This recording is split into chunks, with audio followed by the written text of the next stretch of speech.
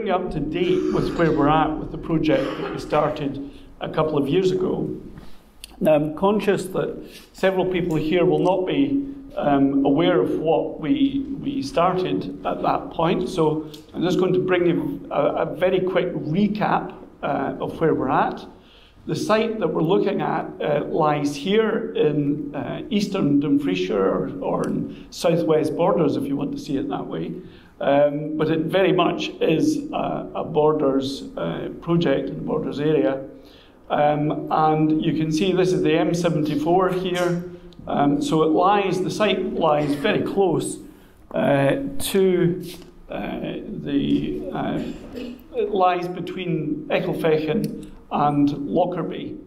Uh, the site itself consists of a 17 acre Iron Age hill fort here, Burnswark Hill, and it's straddled by two Roman camps, one on the south side, um, which is about 10 acres, and one about five or six acres on the north side. Now, uh, on the face of it, it looks quite straightforward. It looks like the Romans have decided to uh, besiege the, the hilltop um, and that's how it was interpreted right up till the 1960s. Um, the, the South Camp had ballista platforms here, these round platforms, the so called Three Brethren, facing the, the hill fort uh, on the south side, and on the north side, um, this unusual elongated camp covering this one north gateway of the hill fort. But in fact, that was not how the story ultimately played out in the 60s and 70s. George Jobey, the well respected uh, archaeologist of, the, of Iron Age sites in the borderlands, um, decided that this actually was more likely to be the site of a Roman training camp. Um, this was based on a theory put forward by Kenneth Steer at the time who had suggested that the Romans um, would want to practice artillery, and this was an ideal position uh, for it to be, to be uh, practiced. Now, some of that was based on the material that was found on the hilltop. There were ballista balls and sling bullets found uh, on the hill. But what Jobey confirmed was that the original stone rampart that encircled the whole hill was down at the time that the missile barrage had taken place. So he reasoned that the Romans had built um, targets at the old hill fort gateways and that they were actually aiming at these targets. So he excavated uh, at the gateways to see if he could find more ballistic material, which he did do. Um, but it's worth pointing out at this point that he really only excavated at the gateways. And this was how it was subsequently seen. This is how it got into the popular literature at the time that somehow Burnswark had become uh, a Roman um, firing range, a sort of ancient Benbecula, where you've got um, a sort of missile firing range um, with Roman soldiers lined up here um, delivering missiles onto the top of the hill and then checking how accurate that the practice has been. And that's the way it stood um, in the literature until about the 1990s, and then people were just not comfortable about that. And two people, Duncan Campbell and Lawrence Keppie, both published papers to suggest that this actually was the site of conflict. But the problem was how do you prove that? How do you prove um, a, a situation where effectively you've got a film set, where everything that you see on that film set is the result of the Romans just pretending to assault the hilltop. And how do you decide whether it actually was a real event? That is not a, not a, a film set, but a, a site of actual conflict. So the for and against for this broke down into two main groups. There were issues that supported for a siege and those that supported the theory of a training camp. And you could virtually take the same data and slice it and dice it and move it from one column to the other because it seemed to support one view uh, or the other point of view. So there was a stalemate, if you like, and there was an archaeological debate that rolled on um, until we decided to take an interest. Um, I met with Andy, and Andy came up with um, a research design for a bit of work that we were going to do, um, which took place in 2015. And we've got more work rolling on this year, and I'll talk about that in a second. But we, we put together a collaboration between the Trimontium Trust, Dumfries and Galloway Council, and the National Lottery, and they gave us a, a, grant to allow us to do the field work last year and this year. Um, and that was based on some novel um, ideas. And our objective was to get more data. That we felt that we were just the same data was just going round and round in the in the washing machine of, of archaeological theory, and that we needed to actually punch through that and get some more information. So we decided we're going to reassess the camp morphology because we thought that there'd been a lot taken for granted there that we needed to reassess. We needed to do a, an almost forensic ballistic analysis to look at the material that was found on the hilltop and to look at some of the experimental archaeology that we could do with that to see whether we could um, gain some more information about the, uh, about the slingshot, particularly, and then look at the projectile scatter. That is, borrow some, uh, uh, some theoretical frameworks from battlefield archaeology and approach the site as if it was a battlefield. And largely that would depend on a metal detector survey because the lead missiles gave us the opportunity to look at the site the way you could look at a site that had, uh, that had been a more modern scene of warfare. So, first of all, um, let's take the assumption were these siege camps, because this has been one of the debates. Um, was this a siege, was it not a siege? Um, that depends on how you see these two camps. Did the Romans place them there to starve out and threaten the people on the hilltop, or are they actually assault camps? Were they put there for a very brief period only to allow shelter, as the Romans did do? The Romans always ensured shelter for their men, um, security for their men, prior to uh, an event um, such as a major assault. So, were they very temporary assault camps or not? And looking at the wider picture of Roman siege practice or assault practice, um, Duncan Campbell, who's a, is an expert in Roman sieges, pointed out that the ideal scenario for a Roman commander was for a brief frontal full on bloody assault. So the, the, the Romans would invest the, the hill fort that they were trying to take, but then have a very rapid assault.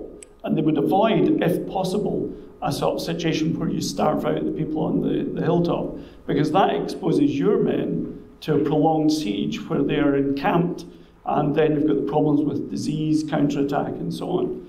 So were we looking at something akin to Caesar's assault on Corfinium in Italy? So, also the camp morphology. If you look at the shapes of these camps, it had always been assumed that they were practice camps because they're very irregular. They're not classically perfectly shaped uh, Roman playing card shapes. And it had always been assumed that, in fact, and they were so gormless, these Roman troops, that they couldn't actually join this bit of rampart to this bit of rampart. Now, there's an internal contradiction in that. If you have the greatest military force in the ancient world, can't draw a straight line, there is a bit of a problem with the, the, the, the theory. But that was the theory, that these camps were so irregular um, because they represented um, troops who were just unskilled. Um, but in fact, again, if you look at siege camps in other parts of the, the Roman world, the siege camps are very often irregular. And the reason for that is that they, they, they don't worry about getting their line straight. What they do is they utilise the land as carefully as possible um, and take the best tactical advantage from the land. So, very often, siege camps from other sites that are attested as sieges are irregular in shape. The other thing is that the, the RCAHMS map makes the ramparts and the ditches look symmetrical. But in fact they're not symmetrical. And if you look at them more carefully, the ditches that face up the hill are very different from the ditches that are away from the hill. So here's the hill facing ditch of the south camp, and there's the ditch of uh, the, the, uh, the, the ditch to the south side that faces away from the hill. And similarly, on the north camp, you can see that the ditch that faces the hill is completely different in magnitude from the ditch that faces away. So you get a real sense that these ditches are proportionate to a perceived threat on the hilltop. Furthermore, the gateways in the south camp are huge. You can get 20 people out abreast from each of the gateways. And these are some of our volunteers. I see Peter and Brenda Dreghorn there in the middle, there in the audience um, this morning. Uh, the gateway itself, this is the smallest of the three gateways. The middle gateway is even larger, so you get the sense again that whoever was commanding this group wanted their men out as fast as possible up the hill, the way would if there was an assault. So we did some, um, some fancy photogrammetry, and this is built on a three-dimensional model. Um, our previous speakers have talked about this, this uh, technology. It's, it's actually relatively simple to use and relatively cheap. You can build a three-dimensional model using aerial photographs, and you can see that the best place to assault this hilltop is directly from the south. So I'll come back to that in a second. We looked at the sling bullet uh, ballistics. I'll just move this a bit closer actually. There we go. Now, I mentioned this in the previous talk that there are two ways of slinging uh, sling bullets. You can do a high lob that gives you a great distance of 300 metres or so, um, but a much more accurate and deadly approach is a horizontal uh, approach. Um, so the slinger slings in a much flatter trajectory and is very accurate at about 100 to 120 metres. And that's exactly the distance from the, from the front rampart of the south camp to the front rampart of the uh, hill fort. So we also looked at the morphology of the shot, and we found that we had um, some help from a German colleague who had done some ballistic uh, work on the stopping power of a, of a manually fired sling. Um, and we showed that it was just short, the, the 50 gram slingshot was just short of a, a 44 Magnum bullet. We went to the Scottish Museum, and uh, so National Museum of Scotland, and asked to see all of their sling bullets that were in captivity. The, there were 54 from Burnswark in Edinburgh, and there were another 53 in the Dumfries Museum. So we examined all of these, we re examined them, we weighed them, and we looked at the morphology, and we discovered something that hadn't been observed before, and that is that there's not just the lemon shaped bullets that everybody knew the Romans used, or these quaint acorn shaped ones that are unique to the Burnswark area. There was a third type. And the third type were smaller, they were about half the weight, and they had holes in them. And each one of these smaller bullets has got a five millimeter diameter hole. The holes are all exactly the same diameter and about five millimeters to eight millimeters deep. We wondered what these, uh, what these were, these holes. We had postulated potentially that they contained poison because there has been some suggestion that the Romans uh, poisoned their missiles. And we've got some chromatography going at the moment to, to examine the material um, that was found in a couple of the, the plugs. But the real reason for these, we think, came out of our ballistic experiments. And what we did was we cast several hundred of these sling bullets, and we made half of them with holes and half of them without. And we got uh, an expert slinger to uh, reconstruct some Iron Age slings um, based on uh, modern sling um, patterns from the Balearic slingers and also from the Apache Indians, who still do uh, quite a bit of slinging. And we tested out the ballistics on a range. We, we made a range that looks like a Quidditch target. And we recorded these with a high speed camera. And we found some interesting facts. Firstly, you can't find these again. We painted them day glow orange to try and assist finding them. You can't find them again. So these were not designed to be retrieved. So, so we're not looking at the Romans firing lead up, or sorry, Andy, Andy always corrects me, you can't fire a sling, you shoot a sling. Shooting slings up a hill, I'll get it right one of these days. Um, shoot a sling up the hill to get the slings back. That's not what these were designed for. Secondly, there was a tendency to drop them. When the slinger was under pressure, he would drop about every tenth, um, every tenth sling bullet. And this is a picture from the, uh, this is a, a, photograph of the excavation at the Little Bighorn battle site, where they found that cavalry officers were dropping bullets unfired, about one in ten. So it seems that trembling hands under pressure drop ammunition um, at the feet. So that gave us an opportunity to try and identify where the Roman slingers were actually standing. So we also discovered that there was no difference between the acorn and lemon shaped ones in flight. The, the little ones with the holes were ballistically inferior, but they had um, two attractions.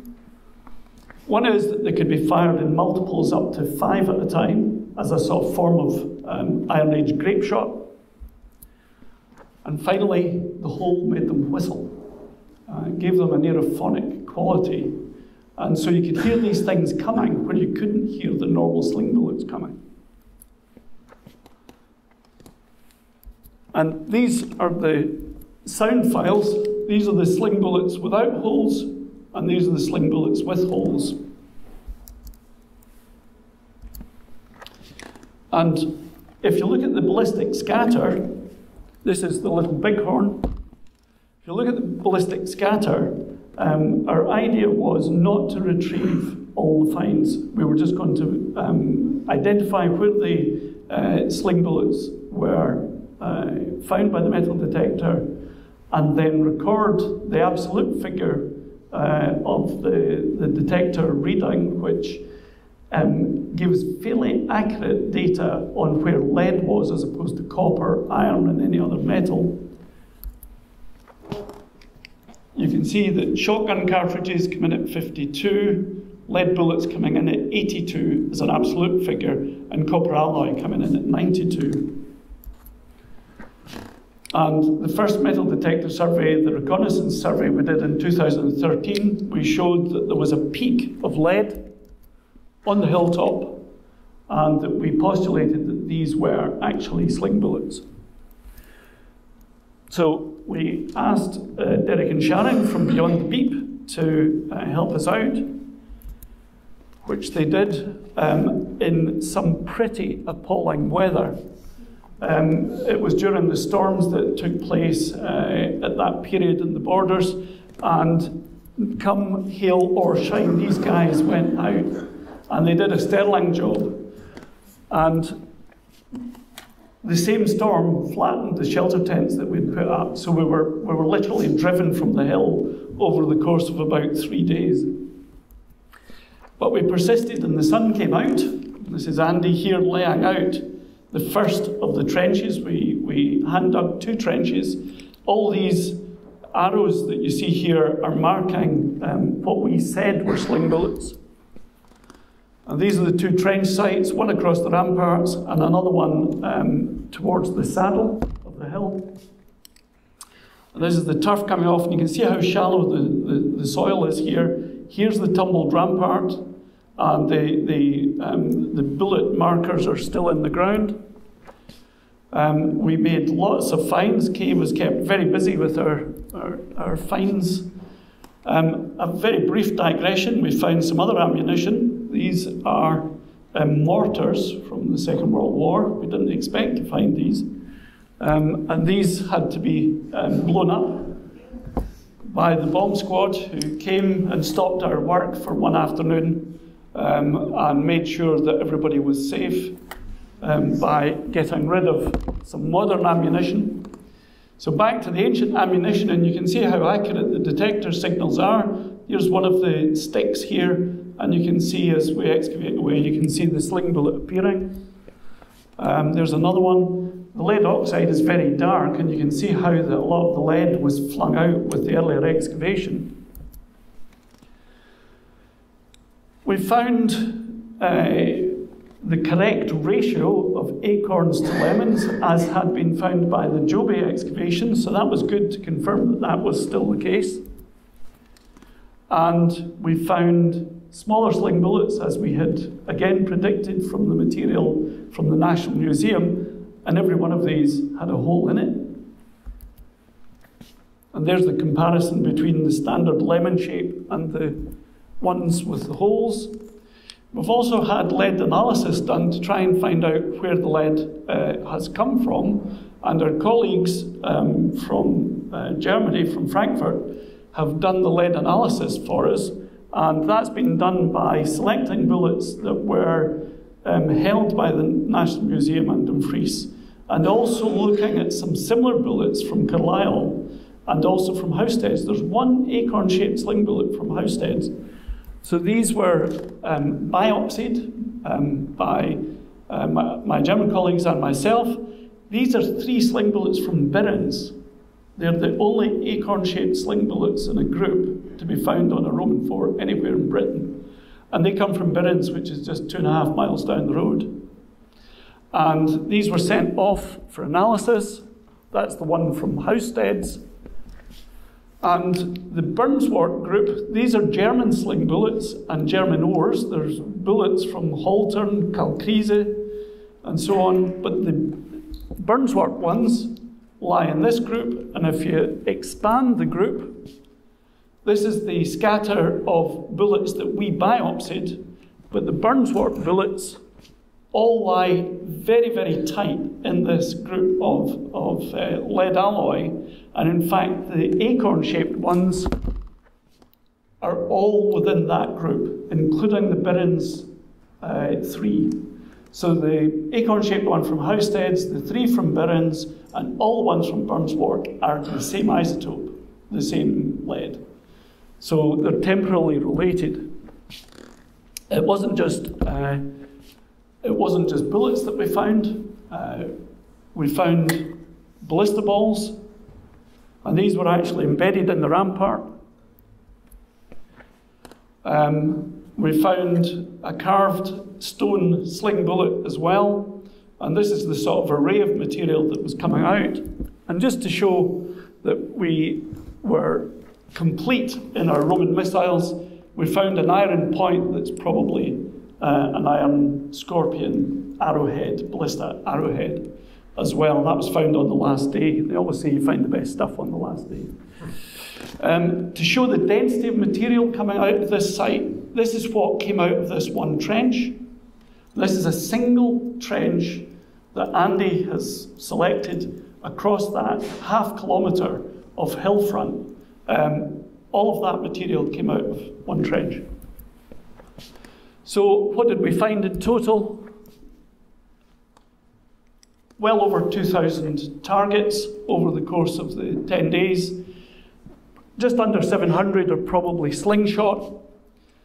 This is the distribution across the site. Here's the hill fort here, and you can see the pink is the lead. This is lead, and you can see that there's a drop area here behind the uh, front rampart of the south camp. There are some, unexpectedly, we found some lead bullets in the north camp as well. There's a funny cluster here, but the vast majority spread over half a kilometre along the front.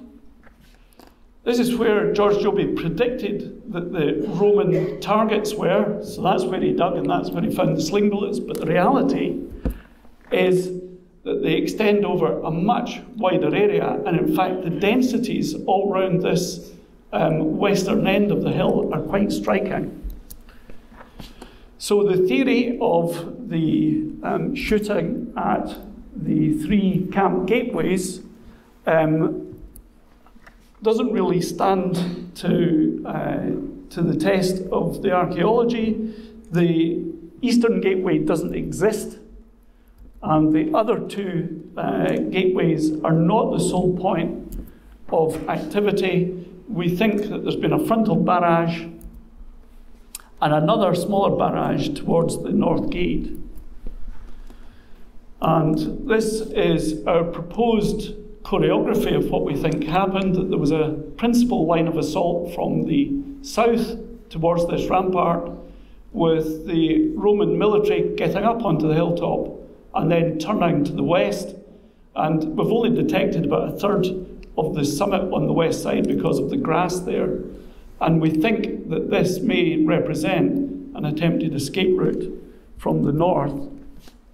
So, in conclusion, we feel so far, and uh, as we would like to stress, this is still work in progress.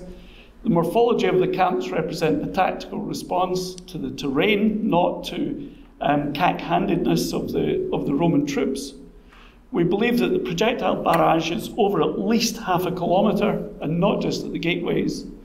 The missile fabric suggests that they were designed to kill and to also intimidate. The barrage was compatible with suppressive fire before an assault. There's a speculative area about why the magnitude of this assault, when did it happen and why, and it's got implications for slinging studies. So, what now? Andy's just put together another research design for, for this year. We're going to assess the relationship of the sling bullets to the ramparts themselves of the Roman camps and to look for dating evidence. And we've got a whole pile of other um, work to do on chromatography and metallurgy of the sling bullets. And finally, there's a rampart here around the Western Hill Uh, the, the, Western Plateau that has never been tested properly by archaeology. We don't know the relationship of it to the assault. We know that the old rampart was down, but we have no idea what that temporal relationship of that turf rampart was. And just as a final last gasp, these are the Birrens three being found from some original work. And this was Anne Robertson's dig from Birrens from the 1970s. And these are the three lead sling bullets found in 1976. And it's those three that we've biopsied, um, and we have shown that they're related. They are the, the brothers and sisters of the ones on the hilltop. So, thank you very much for your patience, and we hope to perhaps bring you some more information next year. Thank you.